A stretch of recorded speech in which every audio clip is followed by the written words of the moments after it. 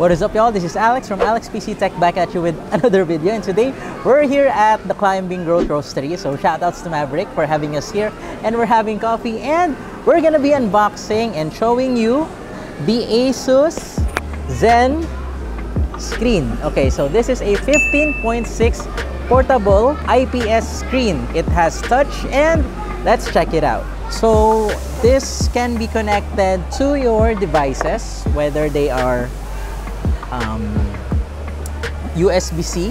If you have a USB-C connection, then this is actually really nice. So let's see what we have here. So it's IPS and if it's not charged, then we cannot charge it from here. But see, it's like an iPad size. So it's in the box is here, the screen itself with the leather pouch. And then we have the wired connection. We have the uh, quick start manual. And then we also have the um, quick start. Okay, the quick start on how to position the screen. So let's put the box aside now and let's check it out. So initially, it doesn't weigh that much, like you can carry it around on your side, but okay, it's a magnetic. Oh, wow. So what I'm gonna initially try to do is plug this into my mobile phone and see how will it extend the display. Will it extend the display? Okay, so here at the side, we have the USB-C for the display port. Okay, uh, yeah. So it powered on when I initially plugged it into my mobile. Oh, oh, nice.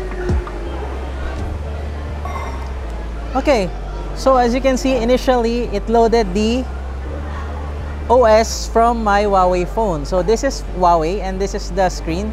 So at 15.6 inches and since this is an IPS screen, the side viewing angle is really good. However, I'm not really sure how many DPIs this one has. Okay. So we have this nipple. Okay.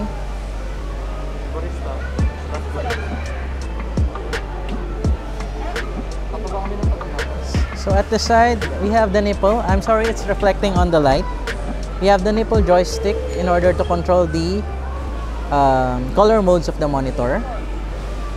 However, what I'm trying to do is, I'm trying to, okay, ah, what you need to take care is the connection. So once the connectivity is lost, it restarts, okay? It res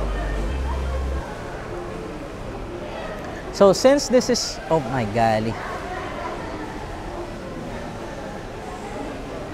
Okay, so since this is a touch screen portable monitor, let's see if I can, yeah, you can do touch. Okay, so I can have Facebook here. Am I connected to the Wi-Fi? This is the thing. Yeah, so I can actually browse my phone through here. So aside from plugging this on the mobile phone, I've tested this on an actual productivity setup where I use it as a secondary screen for Adobe Premiere. Now, what's good about this is that the IPS on the screen is really good so I can actually see that the colors are correct like because the Macintosh that I am using here is actually color corrected the colors are actually accurate and vivid for example also, what you need to be careful of is this connection. So once you like move it like a bit, what happens it is loses it loses connection like quite easily. So that's one thing that we can improve on is the connectivity of this this side on this side of the portable monitor, okay?